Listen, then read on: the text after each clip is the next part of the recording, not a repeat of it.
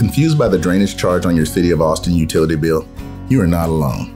Most utility bills include three charges for water related services. Water service and wastewater service are charges for the water you use daily in your home. The third is the drainage charge for stormwater runoff. Stormwater runoff is the water that flows over land after a rainstorm. This includes the water that runs off your property to the street and into the stormwater system, which drains to our creeks and river. When we get a lot of rainfall in a short amount of time, not all the water can soak into the ground. Water that isn't absorbed flows into the city's stormwater system, which was designed to reduce flooding in homes, businesses, and city streets. The stormwater system is made up of a vast network of underground pipes and channels in all areas of the city. The drainage charge pays for the ongoing maintenance of this protective system.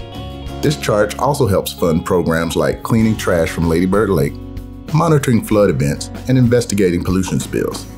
The amount you pay for the drainage charge depends on the amount of hard surfaces on your property, like rooftops, driveways, and patios. Having more impervious cover, or hard surfaces that don't absorb water, results in more water flow into the stormwater system.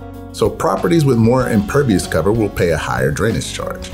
If you have questions about your specific charge, you can call Austin Energy at 512-494-9400 or visit our website at austintexas.gov slash drainage charge. The next time you see the drainage charge listed on your utility bill, you'll know it's being used to help protect our creeks, lakes, and other natural resources to ensure the community stays resilient to flooding.